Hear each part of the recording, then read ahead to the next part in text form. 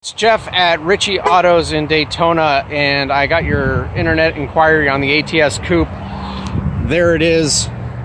I know uh, the girls are working on a figure for you, uncertified. I just wanted to give you a little video to show you the vehicle itself.